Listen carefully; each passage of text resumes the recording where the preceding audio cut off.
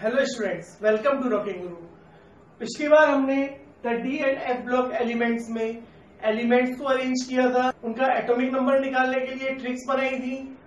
साथ में दो फ़िज़िकल प्रॉपर्टीज़ पढ़ी थी। सबसे पहले हमने एटॉमिक साइज़ और रेडियाई पढ़ा था। दूसरा हमने पढ़ा था आयोनाइजेशन एंथैल्पी अब आगे बढ़ते हैं। थर्ड है हमारा फ़िज़िकल प्रॉपर्टी इलेक्ट्रॉनिक कॉन्फ़िगरेशन तो सबसे पहले हम जनरल इलेक्ट्रॉनिक कॉन्फ़िगरेशन पढ़ते हैं। सीरीज़ के according for three D series general electronic configuration होगी three D one to ten four S one to two same four D series के लिए four D one to ten five S one to two five D series के लिए five D one to ten six S one to two और for six D series electronic configuration होगी six D one to ten four S one to two अब हम सबसे पहले three D series की general electronic configuration पढ़ रहे हैं। तो हमने थ्री सीरीज़ के एलिमेंट को यहाँ पर अरेंज किया हुआ है।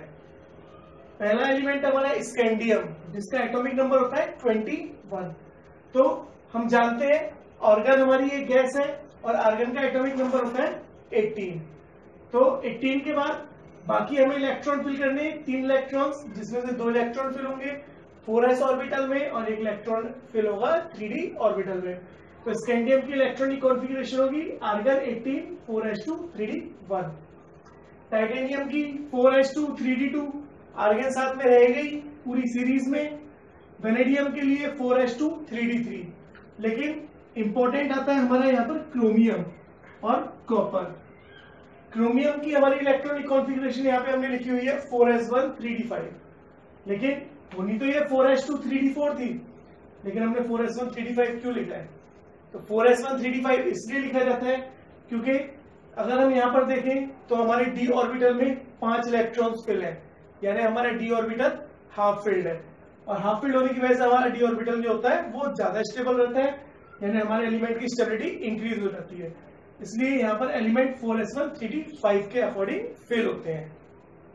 नेक्स्ट है हमारा magnesium four S two three D five magnesium में भी हमारा थ्री डी फाइव ऑर्बिटल जो है वो हाफ़ फ़ील्ड है और four S orbital full filled है, जिसकी वजह से अगर मैं स्टेबिलिटी की बात करूँ तो यहाँ पर क्रोमियम और मैग्नीज में स्टेबिलिटी ज़्यादा होगी मैग्नीशियम की।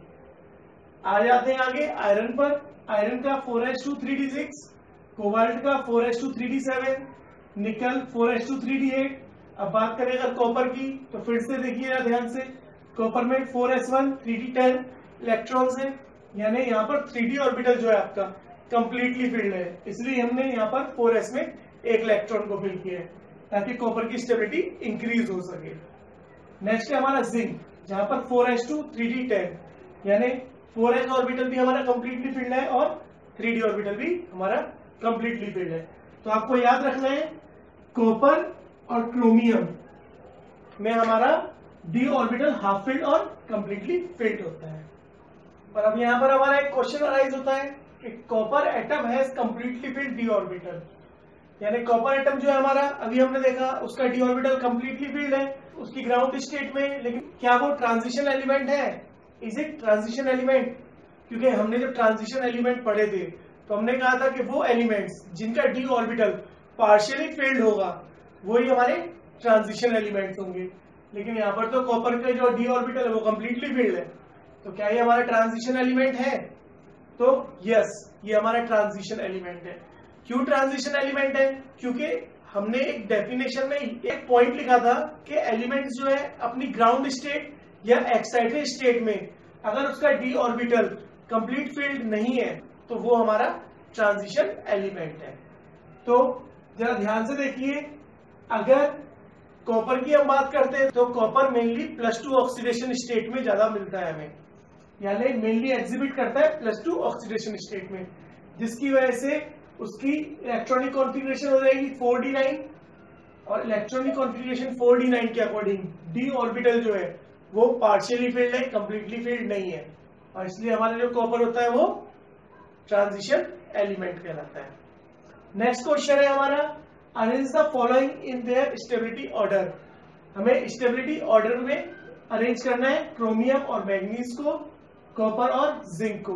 तो जरा ध्यान से देखिए क्रोमियम की अगर मैं इलेक्ट्रॉनिक कॉन्फ़िगरेशन लिखता हूँ तो वो होगी argon 18 4s1 three d five और मैग्नीज की होगी argon eighteen four s two three d five यानी यहाँ पर दो पार्शियली फिल्ड ऑर्बिटल्स है। लेकिन अगर हम बात करें मैग्नीज की तो यहाँ पर एक कंप्लीटली फिल्ड एटॉमिक ऑर्बिटल है और एक पार्शियली फिल्ड तो इसका मतलब मैग्नीशियम की स्टेबिलिटी ज़्यादा होगी क्रोमियम से। सेम अगर हम बात करते हैं कॉपर के लिए तो कॉपर के लिए इलेक्ट्रॉनिक कॉन्फ़िगरेशन होगी four s one, three d ten और जिंक के लिए argon eighteen, four s two, three d ten. तो यहाँ पर भी जहाँ ध्यान से देखिए, three d ten orbital completely filled है, लेकिन four s one partially filled है। और अगर जिंक की बात करते हैं तो जिंक में four s two four s orbital completely filled है और थ्री डी ऑर्बिटल भी कंप्लीटली फिल्ड है। यानी जिंक की स्टेबिलिटी ज़्यादा होगी। यहाँ से आप साइज़ के बारे में भी बता सकते हैं। जिसकी स्टेबिलिटी ज़्यादा होगी, उसका साइज़ छोटा होगा और जिसकी स्टेबिलिटी कम होगी, उसका साइज़ बड़ा होगा। और नेक्स्ट फ़िज़िकल प्रॉपर्टी है हमारा ऑक्सीडेशन स्टेट तो आपको पता होना चाहिए, हमारे डी ब्लॉक के एलिमेंट जो होते हैं वो वेरिएबल ऑक्सीडेशन स्टेट शो करते हैं। तो अगर हम बात करते हैं स्कैंडियम की तो वो only plus three oxidation state show करता है और zinc only plus two oxidation state show करता है। तो ऑक्सीडेशन स्टेट याद रखना बहुत ज़रूरी है तो इसके लिए जरा ध्यान से देखिए। स्कैंडियम से एक ऑर्डर अरेंज हो रहा है। Three four five six seven और इनसे ऊपर के सारी ऑक्सीडेशन स्टेट ये सारे एलिमेंट शो करते हैं।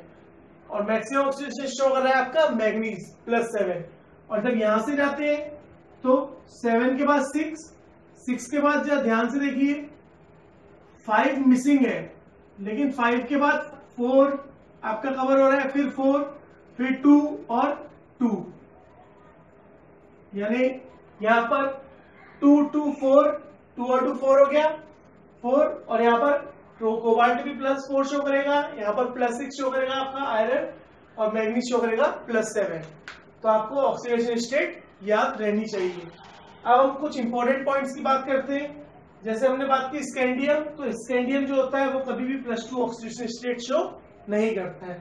Next only radium and osmium exhibit plus eight oxidation state यानी पूरे डी ब्लॉक एलिमेंट्स में। खाली रोडियम और ओस्मियम जो है, वही plus eight oxidation state show करते हैं। ये पूछा जाता है इंपॉर्टेंट पॉइंट है।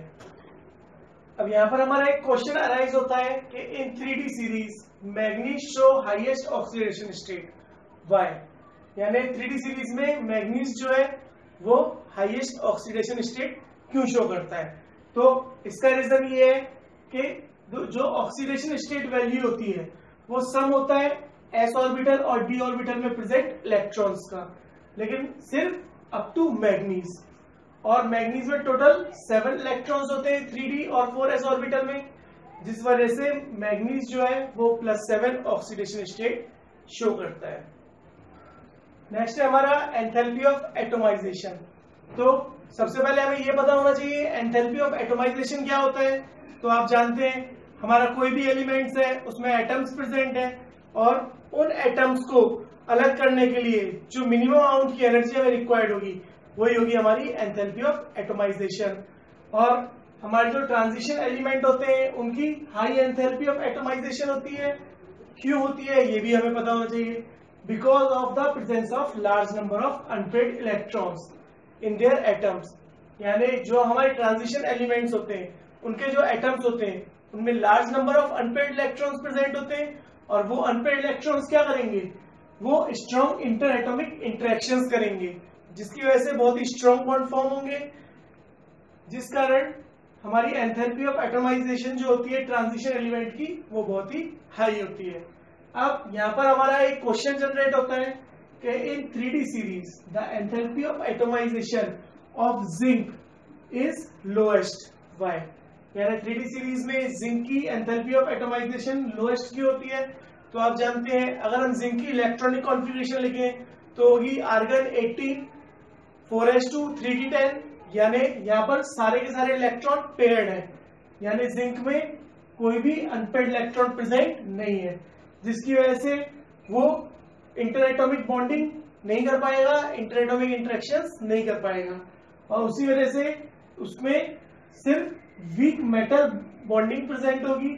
इस कारण इसकी एंथैल्पी ऑफ़ एटोमाइजेशन जो होगी वो बहुत ही कम होगी। नेक्स्ट है हमारा trend in stability of higher oxidation state यानी हायर ऑक्सीडेशन में स्टेबिलिटी का ट्रेंड क्या होता है? तो जो हायर ऑक्सीडेशन स्टेट जो होती है, किनकी? ट्रांजिशन एलिमेंट की। वो स्टेबल होती है सिर्फ़ फ्लोरीन और ऑक्सीजन के साथ। और लोअर ऑक्सीडेशन स्टेट जो होती है वो स्टेबल होती है आयोडीन के साथ। अगर हम एग्ज़ाम्पल की बात करें तो वेनेडियम फाइव यानी वेनेडियम की फाइव ऑक्सीडेशन स्टेट जो है, वो रिप्रेजेंट होती है सिर्फ़ वी फाइव के साथ। और जबकि अदर हेलाइट्स जो है, वो undergo hydrolysis to give oxo halides यानी जो बाकी के हेलाइट्स होते हैं, वो हाइड्रोलिसिस हो जाते हैं और वो ऑक्सो हेलाइट्स फॉर्म करते हैं, जो वीओ एक्स थ्री है। अच्छा अभी हमने ऊपर एक बात की कि हाइयर ऑक्सीडेशन स्टेट जो होती है, वो स्टेबल होती है सिर्फ़ फ्लोरीन और ऑक्सीजन के साथ। तो ऐसा क्यों? उसका रीजन भी तो होना चाहिए। तो इसी को हमने क्वेश्चन बनाया है कि why highest oxidation state are stable with fluorine and oxygen तो इसका रीजन है due to strong oxidizing power of fluorine and oxygen के फ्लोरीन की और ऑक्सीजन के पास जो है स्ट्रॉन्ग ऑक्सीडाइजिंग पावर होती है, जिसकी वजह से वो हाई ऑक्सीडेशन स्टेट के साथ स्टेबल होते हैं। और यहीं पर हमारा नेक्स्ट क्वेश्चन आता है कि all copper two positive halides are known except iodine यानी कॉपर जो है, बाकी सारे हेलाइट्स के साथ Cu2 पॉजिटिव फॉर्म में प्रेजेंट रहता है, लेकिन आयोडीन के साथ नहीं रहता है। यानी कॉपर आयोडाइड इजिली नहीं बनाता। तो उसका क्या रीजन है? तो उसका रीजन है कि कॉपर टू पॉजिटिव जो है, हमारा, वो ऑक्सीडाइज कर देता है आयोडाइड आयन को आयोडीन मॉलिक्यूल में। यहाँ पर रिएक्शन है। Two C U two positive plus four I negative और आप देख रहे हैं, यहाँ पे C U two I two बन रहा है और साथ में जो आपका आयोडाइड आयन है, वो आयोडीन मॉलिक्यूल में कन्वर्ट हो जा रहा है। और यहाँ पर आप ध्यान से देख सकते हैं कि यहाँ पर कॉपर जो है आपका, उसकी प्लस वन ऑक्सीडेशन स्टेट है।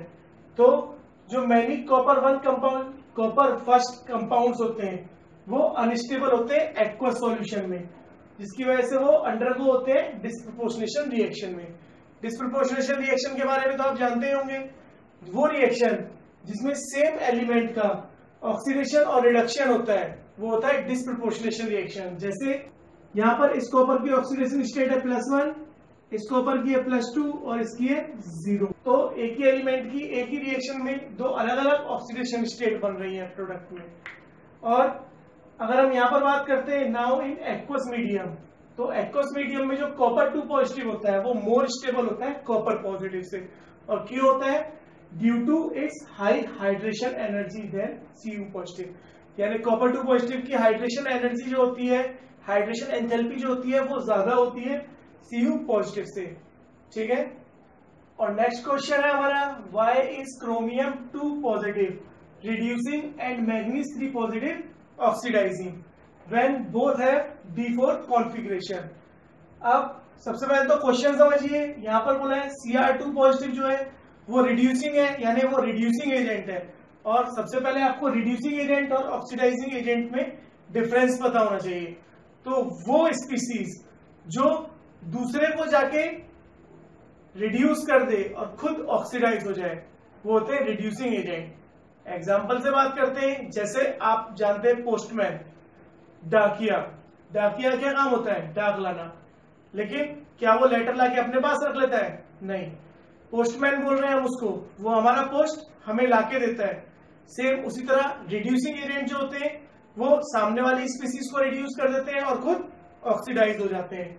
यानी यहाँ पर Cr2 टू पॉजिटिव ऑक्सीडाइज हो रहा है और Mn3 थ्री पॉजिटिव रिड्यूस हो रहा है। ऑक्सीडाइज होने की वजह से क्या होगा यहाँ पर? आप जानते हैं ऑक्सीडेशन का मतलब क्या होता है? लॉस ऑफ़ इलेक्ट्रॉन और रिड्यूसिंग का मतलब क्या होगा? एडिशन ऑफ़ इलेक्ट्रॉन यानी Cr2 पॉजिटिव Cr3 पॉजिटिव में क्यों कन्वर्ट हो रहा है? और Mn3 पॉजिटिव Mn2 पॉजिटिव में क्यों कन्वर्ट हो रहा है? जबकि दोनों की सेम कॉन्फ़िगरेशन है डी फोर कॉन्फ़िगरेशन तो अब हम इसको सॉल्व करते हैं, जरा ध्यान से देखिए। तो अगर हम क्रोमियम टू पॉजिटिव की बात करते हैं तो क्रोमियम टू पॉजिटिव में उसकी इलेक्ट्रॉनिक कॉन्फ़िगरेशन है डी फोर लेकिन अगर वो ऑक्सीडाइज होगा तो उसकी इलेक्ट्रॉनिक कॉन्फ़िगरेशन क्या हो जाएगी? D3 हो जाएगी. यानी उसमें लॉस ऑफ़ इलेक्ट्रॉन हो जाएगा. तो डी थ्री कॉन्फ़िगरेशन से क्रोमियम को क्या फ़ायदा हुआ? तो आप एक बात जानते हैं क्रिस्टल फ़ील्ड थ्योरी के अकॉर्डिंग हमारा डी ऑर्बिटल दो डिफरेंट ऑर्बिटल्स में डिवाइड होता है टी टू जी और टी ई जी जिसमें टी टू जी में तीन ऑर्बिटल्स प्रेजेंट होते हैं d x y d y z और डी एक्स जेड और सेम ई जी में डी ऑर्बिटल दो ऑर्बिटल्स में डिवाइड होते हैं। तो जब हम क्रिस्टल फ़ील्ड थ्योरी के अकॉर्डिंग क्रोमियम थ्री पॉजिटिव के इलेक्ट्रॉन्स को फिल अप करते हैं, यानी डी थ्री के इलेक्ट्रॉन्स को फिल करते हैं तो उसमें हमारा टी टू जी जो एटॉमिक ऑर्बिटल होता है, वो हमारा हाफ़ फ़ील्ड रहता है और उसके हाफ़ फ़ील्ड होने की वजह से क्या होगा? क्रोमियम की स्टेबिलिटी इंक्रीज होती है। और यही रीजन है क्रोमियम का ऑक्सीडाइज होना और ये एक रिड्यूसिंग एजेंट कहलाता है। अगर हम बात करते हैं मैग्नीज थ्री पॉजिटिव की तो हमारा manganese three positive oxidizing agent है। यानी दूसरे को ऑक्सीडाइज कर रहा है और खुद रिड्यूस हो जा रहा है। खुद रिड्यूस का मतलब एडिशन ऑफ़ इलेक्ट्रॉन और अगर मैग्नीज थ्री पॉजिटिव में इलेक्ट्रॉन ऐड होता है तो हमारी कॉन्फ़िगरेशन हो जाएगी एम टू पॉजिटिव और एम टू पॉजिटिव होने के कारण जो हमारी मैग्नीज टू पॉजिटिव की इलेक्ट्रॉनिक कॉन्फ़िगरेशन होगी, वो होगी डी फाइव और आप जानते हैं डी फाइव में जो आपके इलेक्ट्रॉन्स हैं, वो पाँच इलेक्ट्रॉन्स फिल होंगे डी ऑर्बिटल में और आपका डी ऑर्बिटल पार्शियली फिल्ड होगा। और आप जानते हैं पार्शियली फिल्ड एटॉमिक ऑर्बिटल ज़्यादा स्टेबल होता है। तो अपनी स्टेबिलिटी को इंक्रीज करने के लिए यहाँ पर क्रोमियम और मैग्नीज दोनों ही अपना अपना रिडक्शन और ऑक्सीडेशन करते हैं। तो यहाँ पर क्रोमियम अपना ऑक्सीडेशन करता है और मैग्नीज अपना रिडक्शन करता है। और दोनों बिहेव करते हैं रिड्यूसिंग एजेंट और ऑक्सीडाइजिंग एजेंट की तरह। यहाँ पर हमने आंसर लिख दिया है। एक बार मैं आपको रीड करके बता देता हूँ। Chromium two positive has d four configuration while acting as a reducing agent क्यों? It oxidize to C R two positive reducing agent इसलिए ऑक्सीडाइज हो रहा है। सी आर थ्री पॉजिटिव में और इसकी इलेक्ट्रॉनिक कॉन्फ़िगरेशन क्या होगी? डी थ्री कॉन्फ़िगरेशन होगी। और क्रिस्टल फ़ील्ड थ्योरी के according T two G orbital जो होंगे, वो क्या होंगे? हाफ़ फेल्ड होंगे। जिसकी वजह से ये मोर स्टेबल कॉन्फ़िगरेशन रहेगी। और अगर हम बात करते हैं मैग्नीज थ्री पॉजिटिव की तो मैग्नीज थ्री पॉजिटिव क्या हो रहा है? वो ऑक्सीडाइजिंग एजेंट है। यानी उसमें रिडक्शन हो रहा है। रिडक्शन का मतलब एडिशन ऑफ़ इलेक्ट्रॉन और इलेक्ट्रॉन एड होने की वजह से ये मैग्नीज टू पॉजिटिव फॉर्म में शो हो रहा है, जिसकी वजह से इसकी कॉन्फ़िगरेशन है d five configuration. And due to half filled configuration M N two positive is oxidizing agent बहुत इजी था, थोड़ा सा समझना है इजिली हो जाएगा। तो यहाँ पर हमने कुछ और फ़िज़िकल प्रॉपर्टीज़ कवर की है। नेक्स्ट लेक्चर में मैं बाकी फ़िज़िकल प्रॉपर्टी कवर करते हुए, साथ में आपके डी ब्लॉक एलिमेंट्स के कुछ कंपाउंड्स के बारे में बात करूँगा और हमारा d block elements next lecture में कंप्लीट हो जाएगा। और फिर हम स्टार्ट करेंगे F block element thank you for watching our video अगर आपको हमारी वीडियो अच्छी लगे तो हमारे चैनल को लाइक करिए शेयर करिए सब्सक्राइब करिए।